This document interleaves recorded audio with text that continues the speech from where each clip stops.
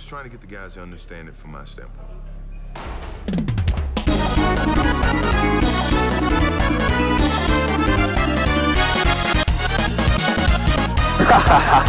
Ronald